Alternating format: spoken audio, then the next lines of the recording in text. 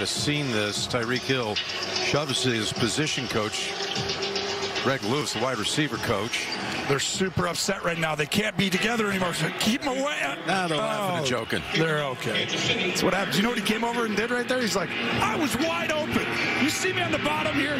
Tell Hetty he's got to wait a second. I'm going to push you when I come to the.